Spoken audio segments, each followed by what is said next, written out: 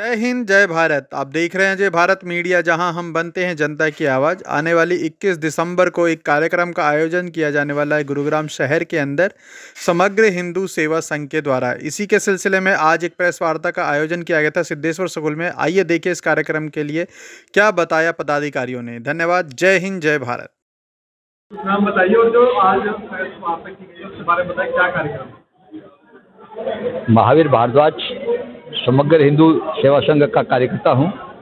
आज पत्रकार वार्ता का मुख्य उद्देश्य 21 दिसंबर को हिंदू जागरण दिवस के उपलक्ष्य में एक संकल्प सभा का आयोजन सेक्टर सात में जीएवी इंटरनेशनल स्कूल के प्रांगण में होने जा रहा है।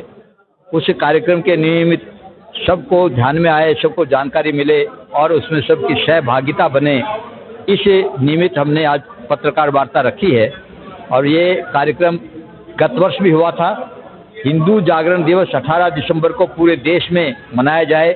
गुरुग्राम में भी इसको 18 दिसंबर को भी हवन, कीर्तन, मंदिरों में नए ध्वज लगा करके और शोभा यात्रा निकाल करके इस प्रकार से 18 दिसंबर को मनाएँगे और 21 दिसंबर को सेवा संकल्प सभा के प्रत्येक व्यक्ति, हिंदू व्यक्ति अपने जीवन में कोई न कोई सेवा का काम ले, प्रत्येक मंदिर में सेवा के काम शुरू हो और जो दीन दुखी हैं, जो ज़रूरतमंद हैं, जिनको आवश्यकता है, उनको सेवा मिले, हम सब सेवा के काम में लगें। ऐसा संकल्प करने के लिए एक सभा रखी गई है। उसके लिए सभी को आमंत्रित आप सब के माध्यम से करना। ऐसा आज की पत्रकार वार्ता का उद्देश्य हमने रखा।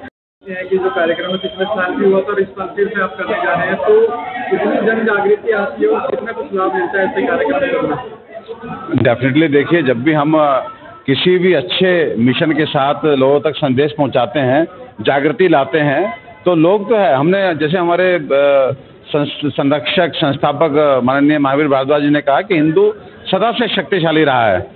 सदा से उसके पास अपनी वैदिक विरासत रही है, लेकिन अनफॉर्चुनेटली दुर्भाग्य से कभी कभी विघटन के चलते, कभी सुप्तावस्था के चलते जो है, वो गुलाम भी बना है और उसने अपने वेदों को, अपनी विरासत को नुकसान भी पहुंचवाया है।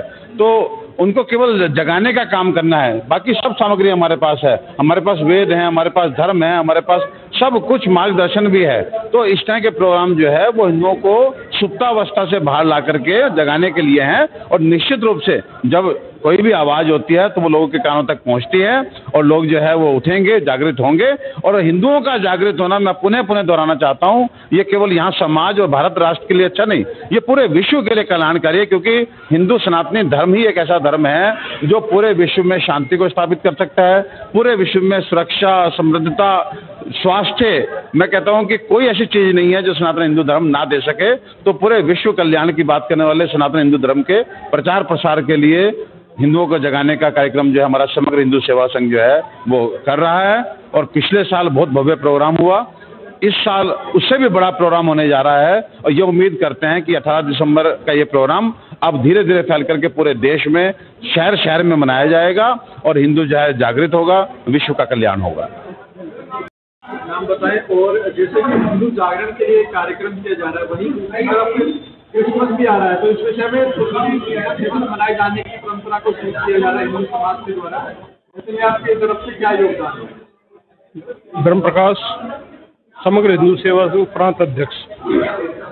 इस कार्यक्रम में 21 दिसंबर को हम जितने मंदिरों के अर्चक पुजारी, उनको सम्मानित भी करेंगे और जो पूरा साल समाज में सेवा काम करते हैं, उनको भी सम्मानित किया जाएगा और जितने अर्चक पुजारी, उनको भी हम जो है प्रमाण पत्र देंगे।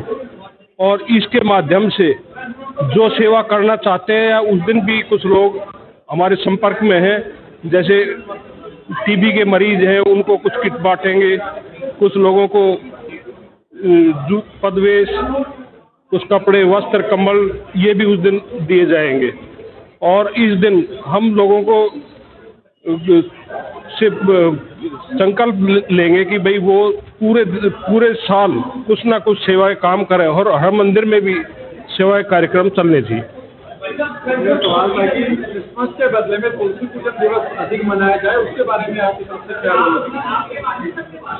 क्रिसमस डे वाले दिन 25 दिसंबर को हमने पिछले साल भी कई मंदिरों में तुलसी का तुलसी का पूजा पूजा पूजा की थी।